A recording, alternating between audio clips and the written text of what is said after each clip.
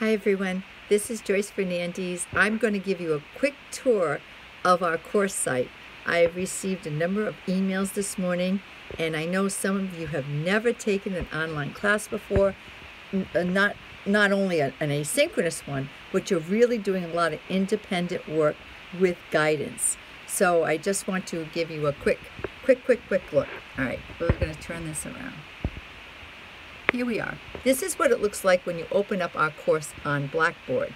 I leave a little announcement, and over here is our course materials and our course information. If you go down here to syllabus, you click here, and this is where you will see our syllabus and calendar. In addition, I've also posted all the videos we're going to be using for our discussion boards. So if you want to catch up, or not catch up, but if you want to go ahead and look to see which ones are coming, you cannot participate in the discussion board until the week, but you can see well in advance. And that's a nice, I've always liked to know what's coming next. Go back to the syllabus, go over here, where you'll have the syllabus itself, which is pretty standard, but you should still read through it, look to see what the student learning outcomes are, uh, go down here for time expectations. This will take time to get through this every week and Bristol Online is available. There's the phone number for the Site Lab, which I call regularly when I have any technical issues, and you should too. Over here is my favorite um, poet, philosopher. She's the late, great Maya Angelou, but I love that quote do the best you can until you know better. But when you know better, do better. And that's what I ask for you to do this semester do relax with this. This class was intended for success with a step-by-step, week-by-week uh, practice. Public speaking is a skill, so there's no way to do a skill without taking it slowly and repetitively. There's a lot of repeating in this class. It's like the ocean waters, they come out, they go in, they come out, they go in, and it should feel comfortable and accessible for you. Okay, this is the attendance policy. I'm saying there are two absences during the semester that you do not have to say one thing to me about if you miss two weeks of class, but get right back on the board. Hopefully they're not two weeks together, but we can all get sick. We can all have other distractions, so do not feel like you have to be perfect to be successful in this class. But I will tell you, the students who make a commitment and keep up with it always feel more connected. So you can read through there. It talks about we rely on instructors videos like I'm making right now. And I'm asking, please look through them. Don't just ignore them or say, oh, I don't have an assignment with that. She's just talking. She's just talking with content. These are numbers that you may need through the course of the semester, uh, like the online um, learning or a mental health counselor or the site lab, enrollment services or financial aid. So look at those. Over here is how our grades are um, distributed the first speech is in the news, two to five minutes, that's 10%. Next speech is informative, 10%, four to six minutes. Uh, persuasive, four to six minutes, 10%. Personal experience, brief opinion, two to five minutes, 10%.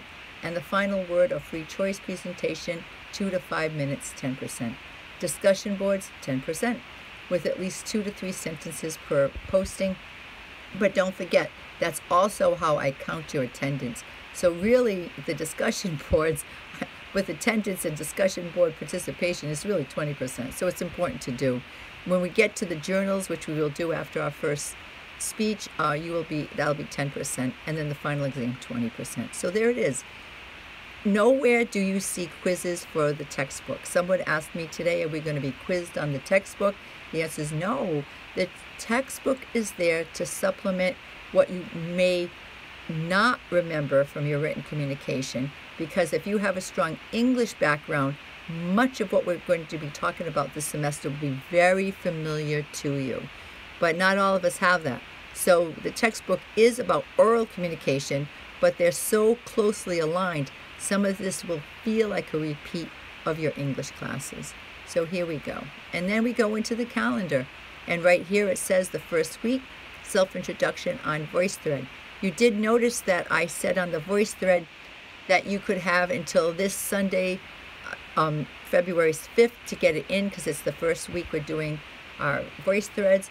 But you'll see after that, it's pretty clear when things are due. and how we roll. And that's it, we roll. Every week there's something to do, but we do get a break. We get a break after the seventh week, and we come right back.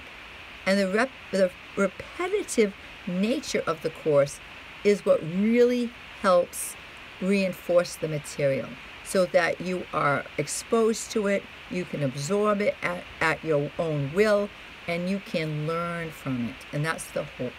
Over here are all, look at all those, look at all those weeks.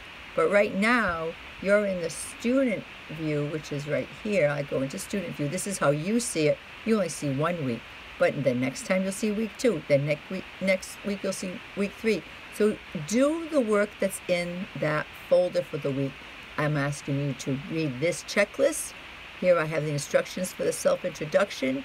I have a video of myself doing the self-introduction and some other information. You should really listen to that. Here is when you're going to be posting your video. Right here, you click on here and you go over to or sign in as it says. Then you go over here and you are going to do whatever it says to do. Start the assignment and move on from there. There was a video at the very end of this week that was older, but I did it to show some students how to um, navigate around VoiceThread, not to be intimidated by it. It's a good tool to house our our videos, keep them tidy and hopefully secure when we're all done with the semester. All of them get um, deleted.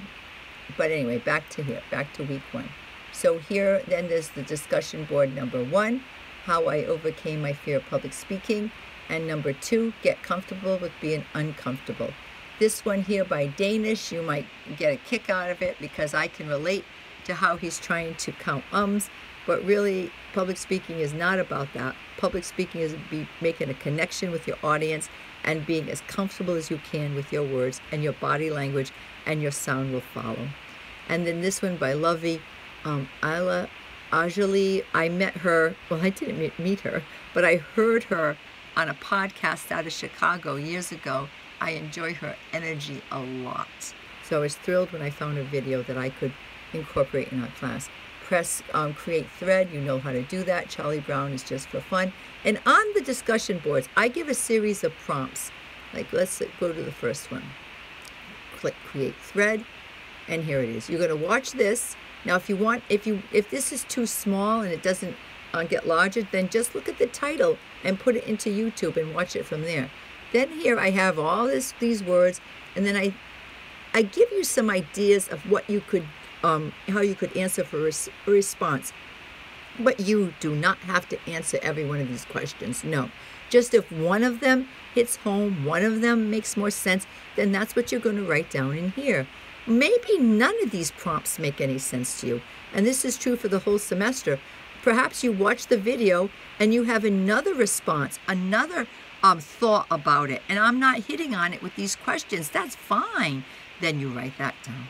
This class is to is a chance for you to work on your own opinions, um, to start to meet your own voice, and understand that you have your own thinking patterns.